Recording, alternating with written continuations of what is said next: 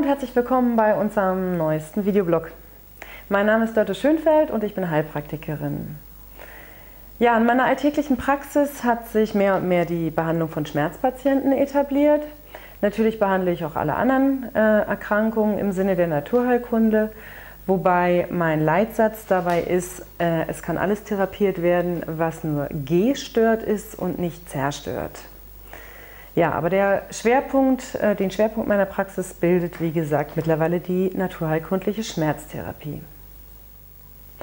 Wenn Sie selbst Schmerzen haben und schon vieles probiert haben oder gar aus schulmedizinischer Sicht als austherapiert gelten, kann ich Ihnen mit diesem Video vielleicht ein paar neue Eindrücke vermitteln, ein paar andere Ansätze vorstellen, wie man an Schmerzen ähm, therapeutisch noch herangehen kann, eben auf naturheilkundliche Art und Weise.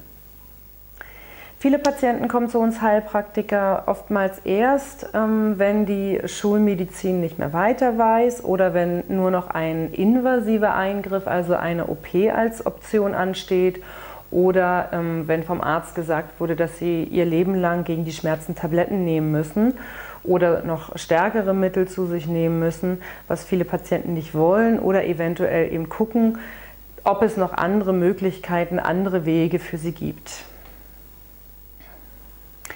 So unterschiedlich die Menschen, so unterschiedlich die Erkrankungen und die Schmerzzustände und so verschieden sind die dafür passenden Therapieverfahren.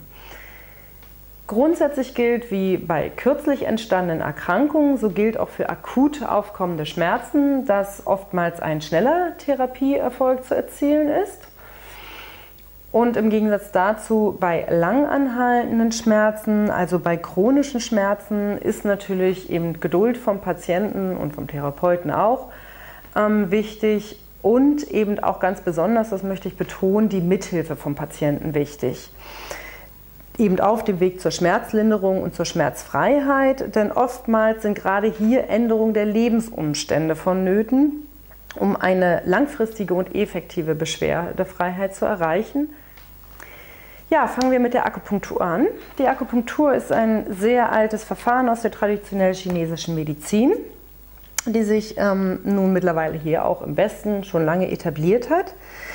Gerade in der Schmerztherapie kann die Nadel auf bestimmten Punkten auf den Meridianen, auf den sogenannten Leitbahnen des Körpers, die den ganzen Körper durchziehen, ähm, an bestimmten Punkten eben für die Lösung von Stagnation und Blockaden sorgen und dadurch ist ein freier Fluss von Qi und Blut wieder möglich und das führt im Sinne der GCM zur Beschwerdefreiheit. Dann kommen wir zur Ohrakupunktur. Hier haben wir das Abbild einer Ohrmuschel. Stellen Sie sich ein Embryo vor mit dem Kopf nach unten im Mutterleib. Hier unten ist der Kopf, dann haben wir die Halswirbelsäule, die Brustwirbelsäule, die Lendenwirbelsäule, hier oben die Füßchen und so weiter. Und durch die Stimulation mit Akupunkturnadeln oder auch winzigen Dauernadeln auf den Reflexzonen können wir die schmerzhaften Körperpartien positiv beeinflussen. Und gerade in der ähm, akuten Schmerztherapie hat sich das eben sehr bewährt. Kommen wir nun zur LNB-Schmerztherapie oder zur Schmerztherapie nach Liebscher und Bracht. Im Gegensatz zur Akupunktur ist es noch eine relativ junge Methode. Das Verfahren wird von Roland Liebscher und Frau Dr. Petra Bracht seit über 20 Jahren allerdings nun auch schon entwickelt und immer weiterentwickelt. Hier arbeitet der Therapeut mit seinen Händen, mit seinen Fingern, mit seinen Daumen, manchmal auch mit den Ellenbogen. Und nach einer genauen Schmerzanamnese wird dann eine sogenannte Schmerzpunktpressur oder Osteopressur durchgeführt. Das ähm, geschieht dann für einen Zeitraum von ca. 30 bis 120 ähm, Sekunden an einem Punkt, was durchaus sehr schmerzhaft sein kann. Je nachdem, welche Körperpartie es ist, sind das zum Teil 2 bis 20 Punkte, die dort stimuliert werden. Eben durch einen starken Reiz, der wie gesagt nicht wenig schmerzhaft ist. Ähm, aber der ist halt wichtig, damit wirklich Rezeptoren im Gewebe erreicht werden und dann über eine Umschaltung des Schmerzes im äh, Gehirn eben eine Entspannung des Gewebes stattfinden kann. Und dadurch ähm, lässt sich oft der Schmerz in den Strukturen direkt spürbar bei der Behandlung oder nach der Behandlung deutlich senken oder es kann sogar zu einer Schmerzfreiheit kommen. Der zweite Teil ist aber mindestens genauso wichtig, gerade bei chronischen Schmerzen eigentlich fast noch wichtiger. Das sind nämlich die Hausaufgaben, die der Patient nach Hause kriegt in Form von individuellen Übungen, je nach seinem Schmerzzustand.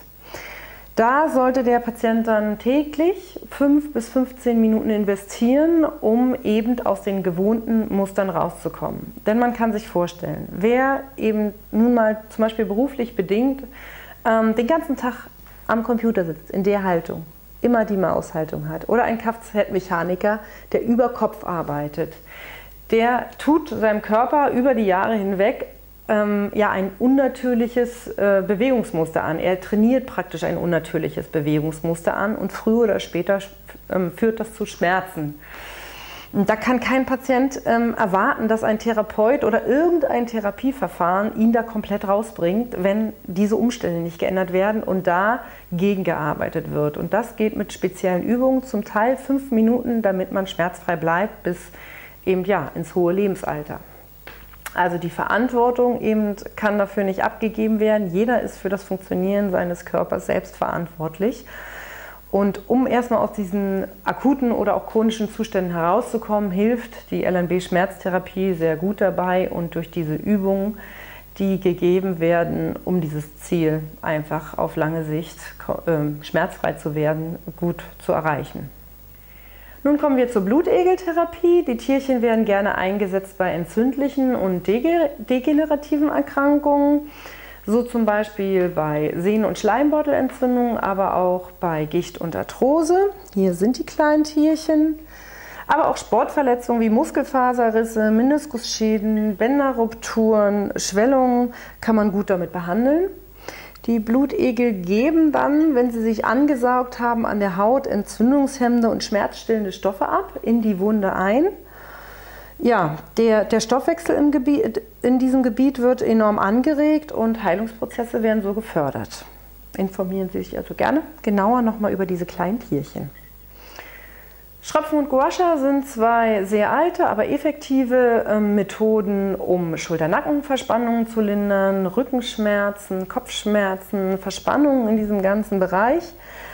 Ähm, eben was meistens durch muskuläre Dysbalancen ausgelöst ist, mit verschiedenen Hilfsmitteln. Hier ist so ein traditionelles Guasha-Werkzeug oder Schröpfgläser zum Trockenschröpfen und zur Schröpfmassage wird direkt auf den verspannten Strukturen gearbeitet. Es wird die Durchblutung angeregt.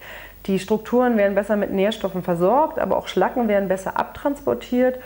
Und äh, so empfindet der Patient meistens direkt nach und bei der Behandlung eine Erleichterung in diesem gesamten verspannten Gebiet.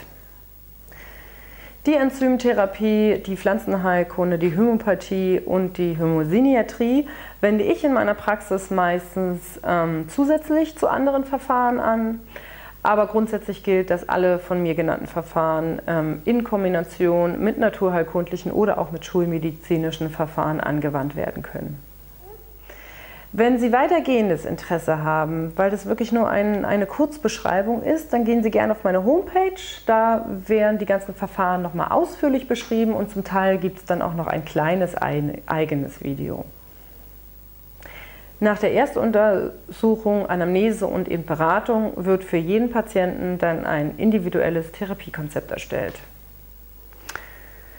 Ja, und falls ich dann doch mal nicht weiterhelfen kann oder sehe, ein anderes Verfahren, was vielleicht ich nicht anbiete, ist sinnvoller, dann schicke ich Sie gerne an ähm, Kollegen weiter, zum Beispiel die Osteopathie ähm, sei hier genannt oder vielleicht doch mal etwas invasivere Verfahren wie die Chiropraktik, Atlas-Therapie. Also es gibt noch einige Möglichkeiten mehr. Und so muss man erstmal bei jedem Patienten genau hinschauen, was hat er und wie kann man ihm vielleicht helfen. Ja, wenn Sie noch Fragen haben, kontaktieren Sie mich gerne. Ich wünsche Ihnen eine schmerzfreie Zeit. Bis dahin.